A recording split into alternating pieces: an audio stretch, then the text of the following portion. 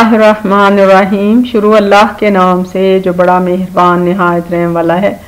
हम इस दुआ के साथ सबक आगाज़ करते हैं। रब्बी सितनी इल्मा ए मेरे रब। हमारे इल्म में इजाफ़ा फरमा। तो प्यारे बच्चों, वो बातें जो सिर्फ़ अल्लाह ताला के साथ मखसूस हैं, जैसे हदायत देना, गुनाहों को बख्शना, पैदा करना, मौत देना, नफ़ा नुकसान पहुँचाना, औलाद देना, रिजक देना तो हम लाइल्मी की वजह से अगर मुश्किल में आते हैं तो हम कहते हैं फ़लाँ ने रिजक बंद कर दिया फ़लाँ ने औलाद की बंदिश कर दी। फ़लाँ की वजह से ये मुसीबत आई। तो प्यारे बच्चों, कुरान मजीद अल्लाह ताला का तारुफ है। ये हमारी आँखें खोलता है और हमें बताता है कि असल में हकीकत क्या है। ईमान वालों के लिए हदायत और रहमत है।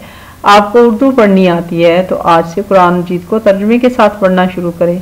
कम अज़ कम कुरान की तीन आयात तर्जमे से पढ़ना अपने ऊपर लाजिम कर लें। हम मैयरिंग इंस्ट्रूमेंट्स की बात कर रहे हैं तो आज हम मैथ्स मेयरमेंट के ऊपर बात करेंगे। Pots for use to measure grains in various parts of the world in the ancient times Ajnas को मापने के लिए ज़माना कदीम से दुनिया के मुख्तलिफ़ हिस्सों में बर्तन इस्तेमाल किए जाते हैं। Balances were also use by Greeks and Romans यूनानी और रूमी तराजू भी इस्तेमाल करते थे। Beam balances are still in use at many places. डंडी वाले तराजू अभी भी बहुत जगहों पर इस्तेमाल होते हैं। In a beam balance the unknown mass is placed in one pan. एक पैन में पलड़े में नामालूम मैस रखा जाता है और दूसरे में वज़न स्टैंडर्ड औजान रखे जाते हैं। ये एक फ़िज़िकल बैलेंस है। इसमें मेटेलिक बीम होती है, नाइफ पॉइंटर होता है और pans होते हैं। A physical balance is used in the laboratory to measure the mass of various objects by comparison. मुआजना करके मुख्तलिफ़ अशिया का वज़न मालूम किया जाता है लेबॉर्ट्री में। It consist of a beam resting at the centre on a fulcrum fulcrum के ऊपर एक धाती बीम होती है। The beam carries scale pans डंडी के अतराफ पर पलड़े होते हैं। और unknown mass is placed on the left pan बाएँ पलड़े में अननोन मैस रखा जाता है। ये मुख्तलिफ़ स्टैंडर्ड मैसेज होते हैं इन द वेट बॉक्स अब हम find the mass of a small stone by a physical balance एक छोटे पत्थर का हम वज़न मालूम करते हैं फ़िज़िकल बैलेंस से। तो ये हमारी प्रॉब्लम है। तो इसका सोल्यूशन कैसे करेंगे?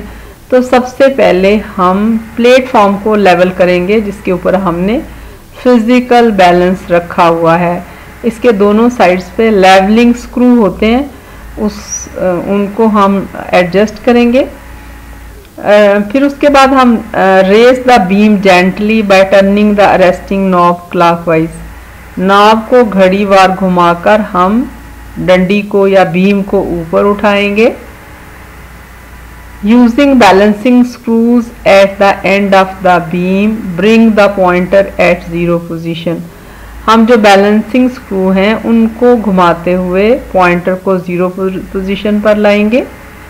Turn off the resting knob to bring the beam back on the supports knob को बंद करेंगे और बीम को वापस स्पोर्ट्स पे ऊपर ले आएँगे। उसके बाद हम place the given object on the left pan हमने स्टोन को बाएँ पलड़े में रखा। Place suitable standard masses from the weight box on the right pan मुनासिब स्टैंडर्ड वज़न दाएँ पलड़े में रखें ताकि हमें पता चले कि पत्थर का वज़न कितना है। रेस द बीम हम फिर बीम को या डंडी को ऊपर उठाएँगे नॉब के ज़रिए। Check for the position of pointer. Lower the beam if pointer is not at zero.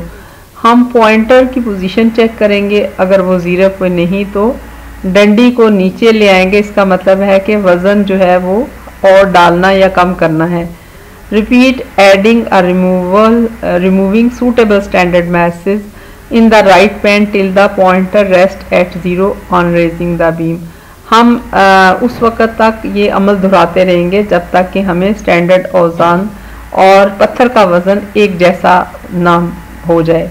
Note standard masses on the right pan तो हम सीधे हाथ के पलड़े पर जो वज़न हमने रखा है उसको नोट करेंगे और यही वो वज़न होगा जो पत्थर का वज़न है।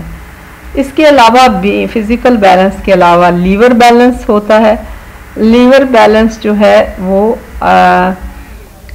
consist of system of levers वो लीवर्स के निज़ाम पर मुश्तमिल होता है।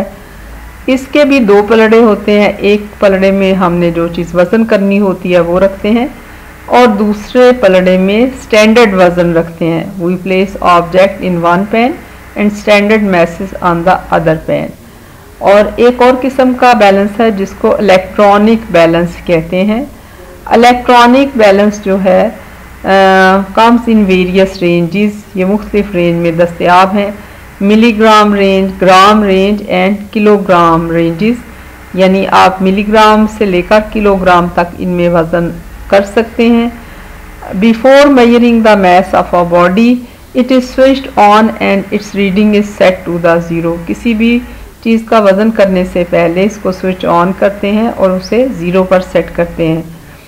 Place the object to be weighed जो चीज़ वज़न करनी होती है, हम उसके ऊपर रख देते हैं और the reading on the balance gives you the mass of the body placed over it जैसे ही आप ऑब्जेक्ट स्केल के ऊपर रखते हैं, वज़न की रीडिंग इलेक्ट्रॉनिक बैलेंस की स्क्रीन पर आ जाती है, जैसा कि आप देख रहे हैं। अब अगला सवाल है the mass of one rupee coin is measured using different balances मुख्तलिफ़ बैलेंसेस को इस्तेमाल करते हुए एक रुपए के वज़न, सिक्के का वज़न मालूम करेंगे।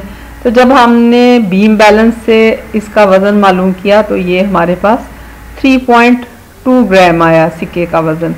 तो हसास बीम बैलेंस जो है, वज़न में 100 ग्राम की कमी बेशी का पता चला सकता है। फिर जब हमने फ़िज़िकल बैलेंस से कॉइन का मैस मालूम किया तो वो हमारे पास 3.24 ग्राम आया। तो फ़िज़िकल बैलेंस में 10 मिलीग्राम की कमी बेशी तक का पता चलाया जा सकता है। और जब हमने इसी सिक्के का वज़न जो है वो इलेक्ट्रॉनिक बैलेंस से किया तो हमारे पास 3.247 ग्राम आया। तो इलेक्ट्रॉनिक बैलेंस वज़न एक मिलीग्राम की कमी बेशी तक का पता चला लेता है। तो ये हमारे पास तीन रीडिंग्स हैं एक ही सिक्के की, जब हमने तीन फ़र्क तरह के बैलेंस इस्तेमाल किए। तो इससे आप अंदाज़ा लगा सकते हैं कि इलेक्ट्रॉनिक बैलेंस सबसे ज़्यादा सेंसिटिव या हिसास बैलेंस है, कि सबसे ज़्यादा एक्यूरेट और दुरुस्त जो है वज़न वो इलेक्ट्रॉनिक बैलेंस ने दिया है। तो प्यारे बच्चों, उम्मीद है आपको सबक पसंद आया होगा। इस चैनल को सब्सक्राइब करें, इस वीडियो को लाइक और शेयर करें।